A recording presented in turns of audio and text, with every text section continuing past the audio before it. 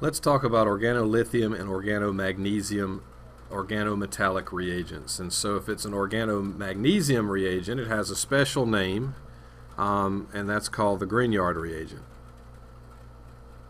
Okay, and that's what we'll see most often, the Grignard reagent, um, when describing organomagnesium. But they're very similar in that they're both highly polar, and that their covalent bonds to their metal centers from the organic portion but they act like they're carbanions when they react. And so for the reagents on the right hand side, we've got an ethyl lithium, as we would name this. Name the alkyl group and then what's attached. That's ethyl lithium. And then we've got ethyl magnesium bromide on the right hand side. Okay. And those covalent bonds um, act in such a way that our carbon groups, the R groups here, the, the alkyl groups, act like they're more carbanion in nature, even though really they're covalent bonds. Okay, but they act like nucleophiles that are both uh, strong nucleophiles, good nucleophiles, and strong bases. So in E2SN2 considerations, we have to consider these as both a good nucleophile and a strong base. So what that means is we're going to want primary halides to be our best reaction partner with these reagents, organolithium and organomagnesium. Um, and we also want to have a look at avoiding the interaction of highly acidic groups like alcohols, amines, thiols, um, and, and acetylides uh, because they are going to react with these strong bases instead of doing the desired reaction. Again, this video is prior to a discussion of reactions of these Grignards and organolithiums with carbonyl type compounds. So we're just looking at the alkyl halides today. But whenever we're using these reagents, we want to make sure that our solvent's dry and we're avoiding interactions with those functional groups that we highlighted. So if we look at, because, and let's actually show what would happen. So suppose we had methyl magnesium bromide.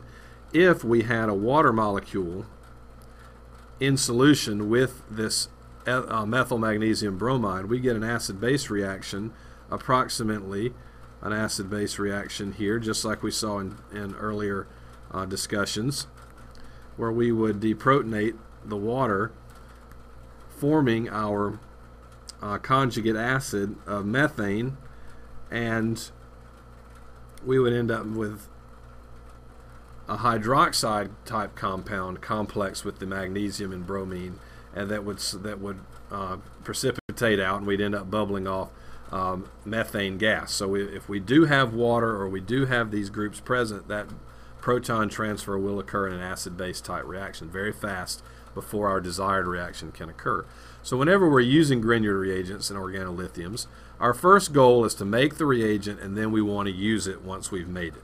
And so when we're making the reagent, our organolithium and organomagnesium reagents can be primary, secondary, tertiary, vinyl, benzyl, hetero, They're all uh, available to us. Very versatile reagents.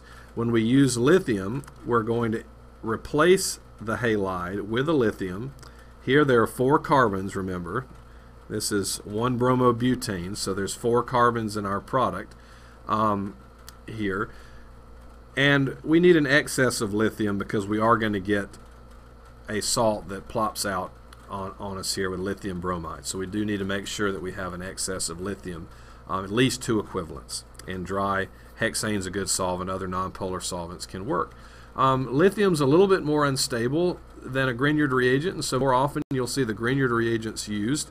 And so we would make this butyl magnesium bromide if we use an ether or THF solvent. So ether solvents are necessity for the Grignard reaction because they play a role in stabilizing the magnesium center. Okay, so we need to make sure that we have the solvents down for both of these. So we just made our reagent. We made um, two compounds that behave just like they were a butyl anion ready to attack an electrophile. So good nucleophile, strong base. Um, so what types of reagents can you make with these? Well, you can make a lot of these types of reagents. Let's look at some commercially available reagents here. We've got anything from alkyl groups that we see, um, like a methyl magnesium iodide. We're using bromides for, for our class because they're the most common. Uh, but we could also insert onto an alkyne. Okay, we can also look at making vinyl magnesium bromide, or we can make um, an allyl magnesium bromide, or even a cyclopropyl magnesium bromide. So a secondary carbon there, highly strained, but still makes a good Grignard reagent. We can make Grignard reagents on secondary alkyls, like isopropyl magnesium bromides. There are a whole bunch of these. Oh, look at this. A heteroaryl with, with a, um, a sulfur group in this, in this aromatic ring and so we can insert in the presence of, of other groups as well, just not those acidic functional groups. So all these different nucleophiles that we can make with these magnesium um, and organo um, lithium compounds. So very versatile reagents as we see to make the, the initial reagent. So once we have the reagent, then we want to use it.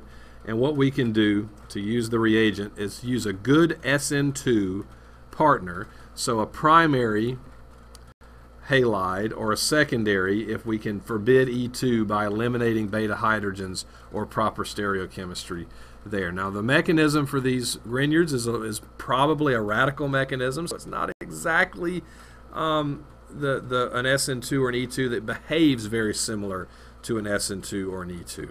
Okay, so that's the thing that we have to remember with these um, Grignards and organolithiums is that the mechanism is still debated in the literature.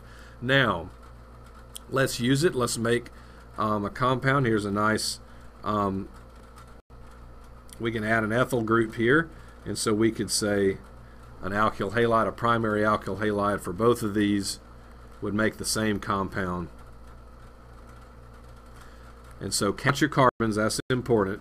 One, two, three, four one, two, three, four from the reagent, from the organolithium and the Grignard reagent, and then an additional one, two, one, two from the ethyl bromide reaction partner that we have at the end.